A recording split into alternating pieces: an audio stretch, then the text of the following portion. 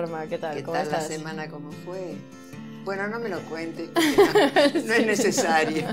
Ahora te veo y te veo bien. Estás gracias, muy elegante. Muy bien, muchas gracias. Bueno, tú también. traje- sí. Sí, tú trajiste un cuento, Un ¿no? cuento, De eso se trata. sí, Mira, se trata. brindemos antes de leerlo. Bueno, muy bien. Eh, A ver, Y después repetimos. después repetimos. Salud.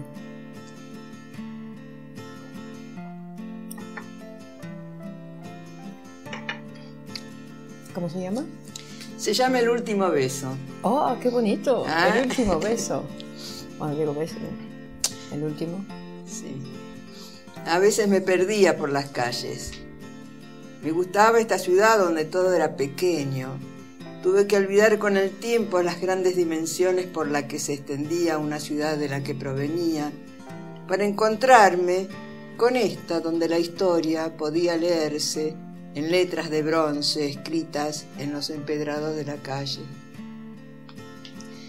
Toda la pequeñez tomaba dimensiones extraordinarias y me sumergía en otras épocas y llegué a revivir imágenes que solo había visto en los libros de historia, a los que siempre me costaba leerlos y aprender los sucesos que acontecían en determinadas fechas que nunca podía memorizar.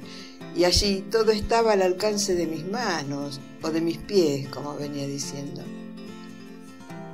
Sin saber cómo llegué al barrio de las letras y todo comenzó a girar, a girar dentro de mí en una especie de caleidoscopio donde una memoria del pasado que no estaba en mí me inundó y casi transportada en medio de nombres, de sitios, de calles y calles, de rostros, de plazas, y adiviné paisajes de antaño y nombres y cuartos a la deriva, perdidos, evocados en alguna moldura que había sobrevivido a ese fatídico año 1936 que fue cuando estalló la guerra.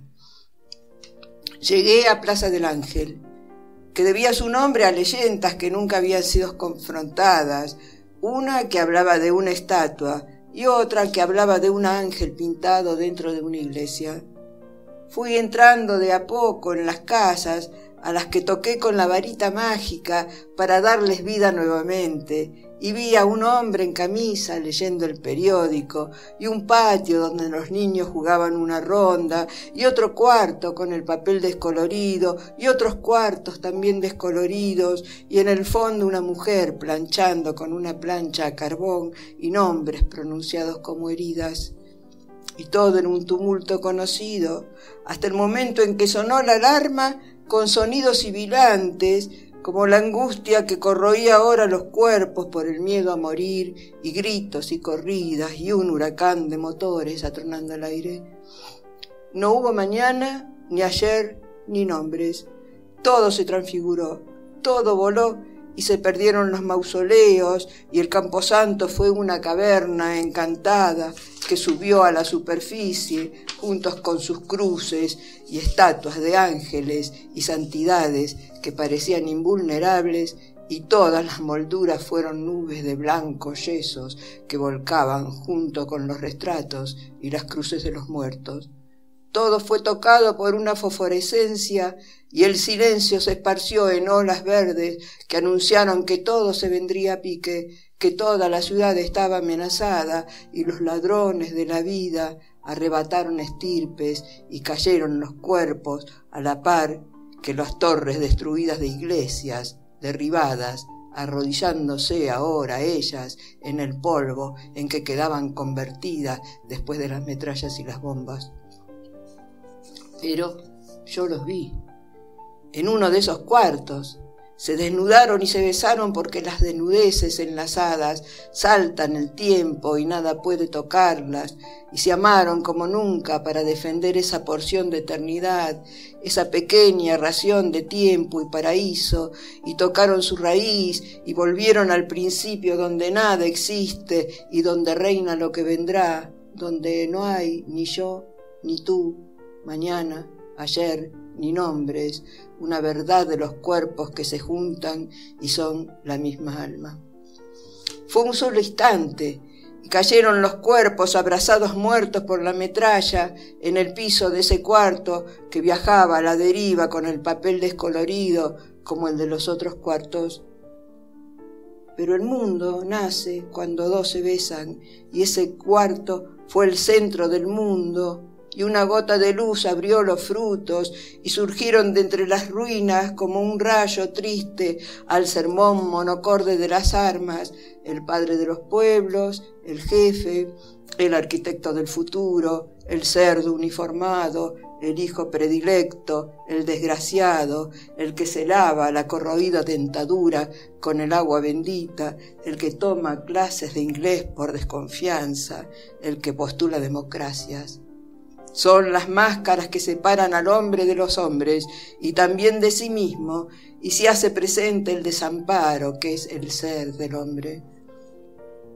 Caminé a tientas por los corredores de mi mente, Subí y bajé por los escalones del tiempo, caminé por las calles del mí mismo y salí así a la calle. El día declinaba, el cielo en el oeste estaba rojo, el sol se está poniendo, pensé. Toqué los muros y todo estaba en orden, la ciudad estaba en pie, las murallas del horror habían funcionado, no vuelve atrás el tiempo, me dije. Los muertos están fijos en su muerte, no vuelven a morirse. Su muerte es ya la estatua de su vida. Esto que me pasó fueron muecas frente al espejo del vómito, un sueño diurno que como en sueño vino a despertarme, me puso en mí para saber que el mundo cambia si dos cuerpos entrelazados caen sobre la hierba y entonces todo se transforma nuevamente.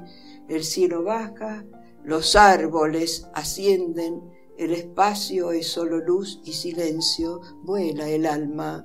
Perdemos nuestros nombres y flotamos a la deriva entre el azul y el verde, y el tiempo es eso donde no pasa nada, sino su propio transcurrir, y los ojos ven lo que no vieron nunca o lo que está solo en un parpadeo, como me pasó a mí cuando caminando por el barrio de las letras me encontré con letras de bronce sobre las piedras de la calle y me metí en una de esas casas que tenía muchos, pero muchos cuartos con el papel descolorido. Y ahí terminó. ¿Ah, sí? Ahí terminó. Es como para seguir, ¿no? Ah, es para seguir, ¿no? Porque No, es... Ahí ah, terminó el cuento. Fue esa visión. es una visión. Una visión. Una visión como histórica un poco de la ciudad, ¿no? Sí, que me, que me pasó realmente, caminando por las calles de Madrid ¿eh? y descubriendo esa historia que estaba en realidad contada ahí, ¿no? Ajá. Cuando mis libros de historias eran lejanos y odiados por mí, no los quería ni ver, y de pronto, desde esa lejanía, venir a encontrarme, ¿no? Acá pasó la batalla de Lepanto, decía uno.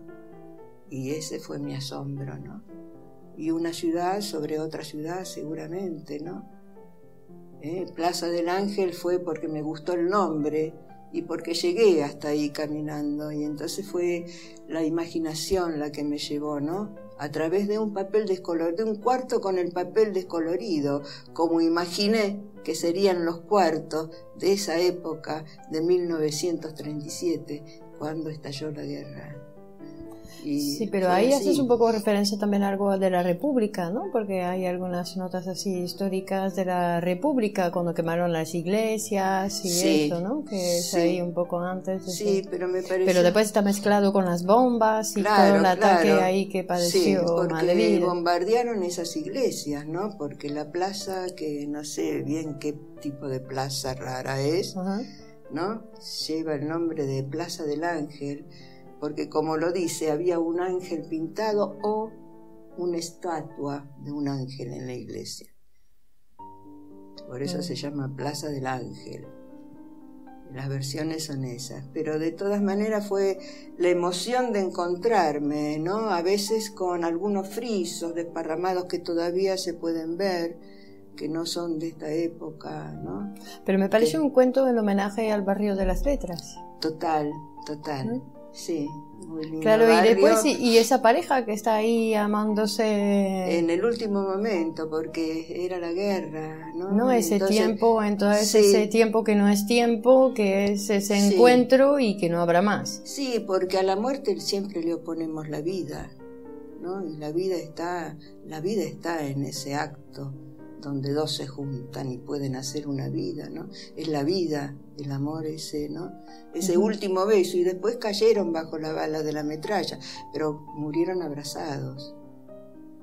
Y eso fue, Sí, sí. ¿no? Me acuerdo que me habían enseñado hace tiempo una foto así de dos esqueletos que bajo las bombas en la Guerra Civil Española, Sí, de dos haciendo el amor ahí con los cadáveres, los Abrazados, esqueletos, los sí, esqueletos sí. que habían quedado así tal cual, ¿no? Tal cual. Bueno, pero eso, viste, frente a la muerte hay que ponerle algo, ¿no? Fueron valientes, ellos fueron valientes. Y después, bueno, y después los cuartos, ¿no? Esas casas de, de antiguo, una un hombre en camiseta eh, leyendo el periódico, una mujer planchando, eh, y cuartos y cuartos con el papel, eran empapelados los cuartos, descoloridos, ¿no? Donde aconteció esta escena que cuento.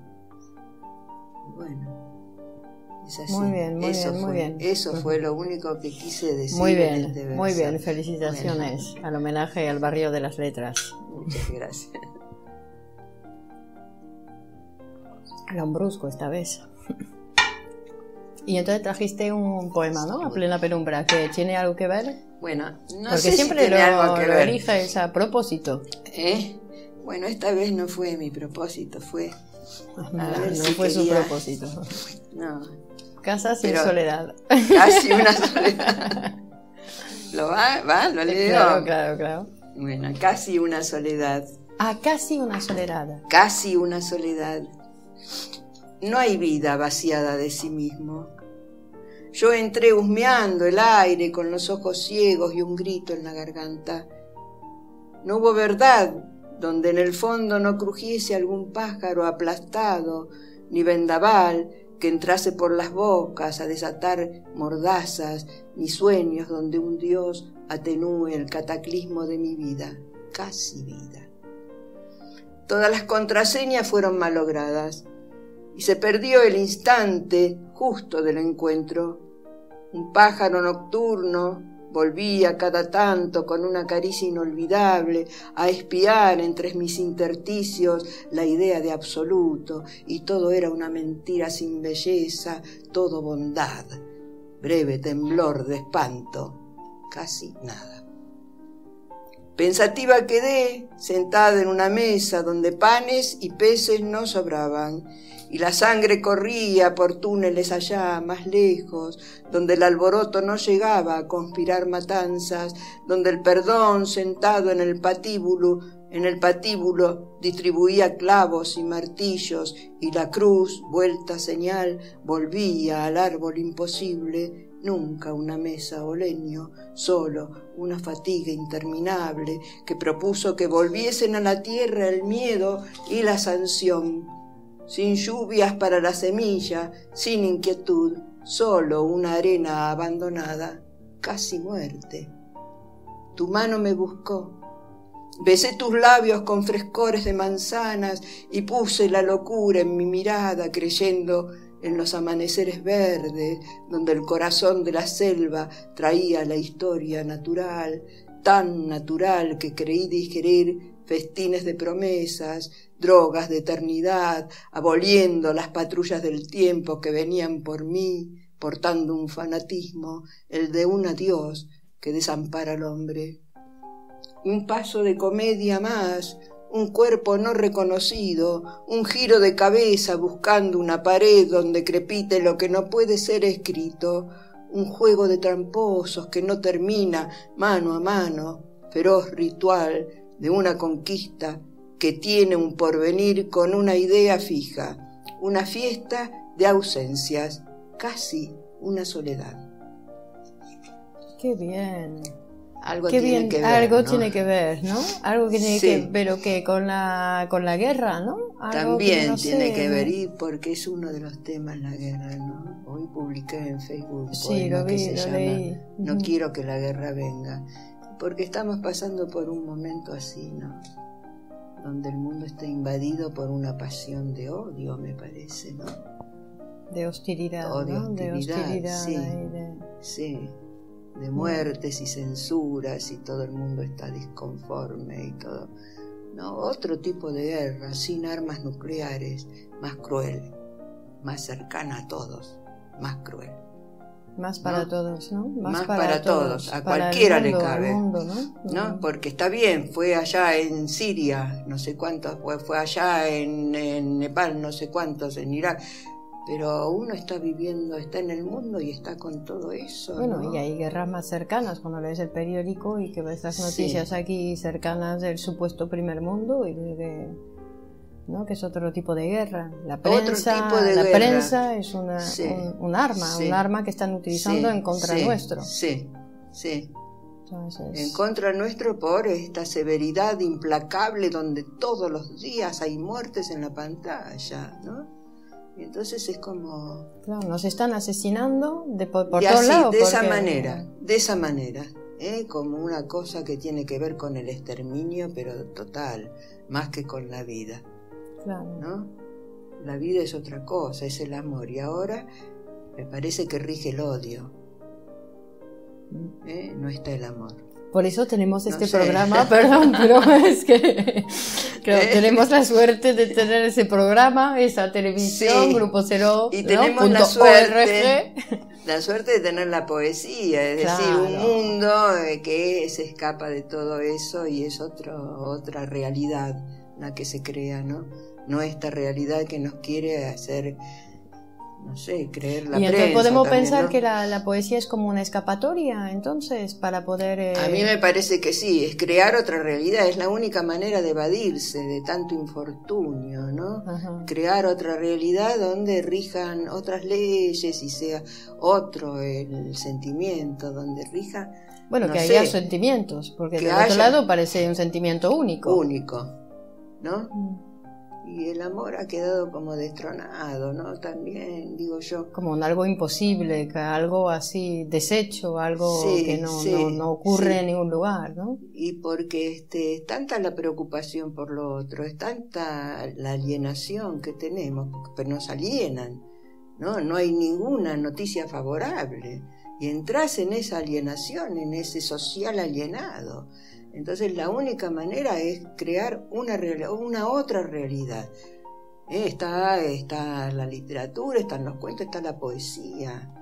¿eh? Como una vía de salida, para salirse de eso, ¿no? Volver a recrear aquello que ha estado pisoteado y olvidado en esta época. Es una época muy nefasta, ¿no? Sí, Una época, como decía dura, ¿no? Bertolt Brecht. Porque no es ni siquiera que la gente está preocupada por comer, ¿no? Con el pan, como justamente a veces, sino por su propia vida. Y sí. Por su propia sí, vida, no es, eh, Sí. no es por Está comer, es por vivir. No, ¿Qué es hago? que está bien, que nacemos y estamos desde el nacimiento amenazados de muerte porque todos nos vamos a morir, pero no de esta manera, no de esta manera, es eso algo que va a pasar despaciosamente para cada uno. ¿eh? Se va a hacer el broche de una vida, pero no así, ¿no? Y entonces hay un- una pena, hay una pena. En el mundo. hay Claro, una y esa pena, claro, debe, debe tocar todo, todos los artistas, todos los escritores, todos los poetas, ¿no? Y Tienen sí. que estar sumergidos ahí, sí. tocados por eso, ¿no? Y sí. Entonces eso que no... Claro, porque la poesía en este momento es subversiva para los fines de este capitalismo rabioso. ¿eh? Escribir o crear una otra realidad es subversión. Bueno, ahí Mm. tenés los poetas muertos, Federico y el otro y el otro y cuantos más, ¿no? Encarcelados y muertos. Sí. Pero es la única vía. Por eso son por subversivos muertos, por escribir. Escribir es subversión. Para este sistema cerrado donde manda el oro. ¿Eh? No Sí, mandan sí. las letras, manda el oro. Sí. Y bueno, es Los así. dólares, porque ni siquiera es el oro, que el oro brilla algo, pero ni siquiera, ¿no? Ah, que no hay reserva, claro, porque el- ya no está soportado por el oro, No. es el petróleo Ajá. y es los dólares. Sí, sí.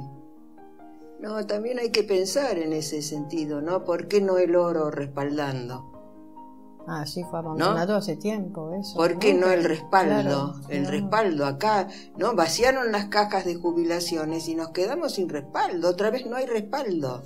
Es decir, no hay, no hay una ley que proteja, es el desamparo brutal del hombre que, han que se ha creado en este momento, ¿no? Entonces estamos un poco tristes, ¿eh? Estamos un poco tristes. bueno, bueno, bueno. Vamos a brindar igual. Nos escapamos, ok, brindamos igual. a la poesía. a la poesía. Bueno, muchas gracias Norma y seguimos el próximo día, que montaremos nosotras ahí el ritmo. muy bien, gracias. gracias. Hasta luego, adiós.